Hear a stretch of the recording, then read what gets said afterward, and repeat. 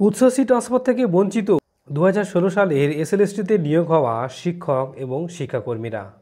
সম্প্রতি উচ্চশী ট্রান্সফার নিয়ে একটি অ্যামেন্ডমেন্ট প্রকাশিত হয়েছে। তাতেও এই নবনিযুক্ত শিক্ষকদের সুযোগ দেওয়া হয়নি। অনেক আশা ছিল অন্তত এই সংশোধনের মাধ্যমে তারা উচ্চশীতে আবেদনের সুযোগ পাবেন। কিন্তু তাও তাদেরকে দেওয়া হয়নি। তো এর জন্য এই সমস্ত শিক্ষকরা মানসিক দিক দিয়ে বিধ্বস্ত। কারণ এসএলএসটির মাধ্যমে নিয়োগ হওয়া এই সমস্ত শিক্ষক এবং শিক্ষিকারা চাকরি পেয়েছেন অন্য জেলাতে, বহু দূর। কেউ বা চারশো কিমি দূরত্বে, কেউ বা পাঁচশো কিমি, কেউ বা সাতশো কিমি দূরত্বে। তো এই সমস্ত শিক্ষক বা শিক্ষাকর্মীরা তাদের নিজের জেলায় বদলি হতে পারছেন না।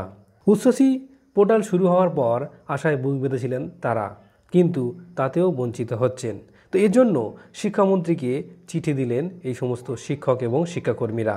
তো উচ্চশীতে আবেদনের সুযোগ দেওয়া হোক। তো কি বলেছেন তাদের সেই চিঠিতে? তো চলুন বন্ধুরা, দেখে নেওয়া যাক। দেখুন বন্ধুরা, এসএলএসটি দু হাজার ষোলোতে নিযুক্ত বিভিন্ন প্রকার বদলি থেকে বঞ্চিত শিক্ষক, শিক্ষিকা। To, professor Bratya Basu, the honourable minister in charge, government of West Bengal, Bikash Bhaban.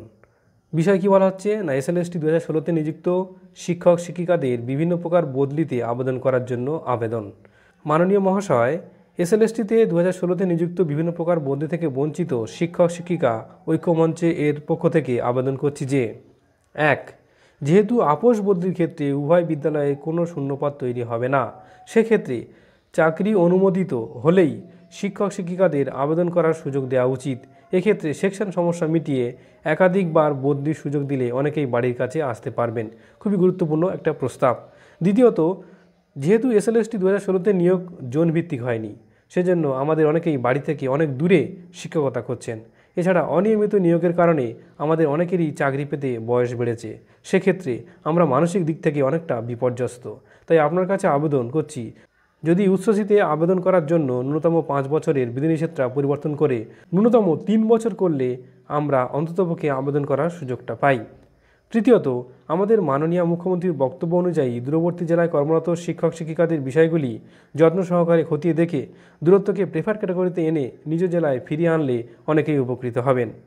চার নম্বর, এছাড়া গুরুতর অসুস্থ বা বিশেষভাবে সক্ষম শিক্ষক, শিক্ষিকাদের বিষয়গুলো খতিয়ে দেখে ওনাদের চাকরি অনুমোদিত হলেই বদলির আবেদন করার সুযোগ দিলে। প্রকল্পটির উদ্দেশ্য আরও যথাযথভাবে সার্থক হবে বলে আশা রাখি। ধন্যবাদান্তে এসএলএসটি দু হাজার ষোলোতে নিযুক্ত বিভিন্ন প্রকার বদলি থেকে বঞ্চিত শিক্ষক, শিক্ষিকারা। তো এনারা দীর্ঘদিন ধরে দাবি করে আসছেন, তো দ্রুত তাদেরকে অন্তত আবেদনের সুযোগ দেওয়া হোক। তো এই দাবি আমাদেরও পক্ষ থেকে তো আশা করছি সরকার দ্রুত এর এটি নিয়ে পদক্ষেপ করবেন। আর ভিডিও অবশ্যই প্রচুর প্রচুর শেয়ার করবেন। আর চ্যানেলটিকে সাবস্ক্রাইব করে রাখবেন। এমন গুরুত্বপূর্ণ তথ্য প্রতিনিয়ত পাওয়ার জন্য।